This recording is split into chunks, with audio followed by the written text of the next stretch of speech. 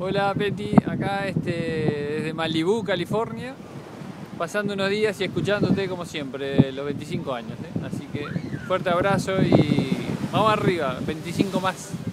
Felicidades.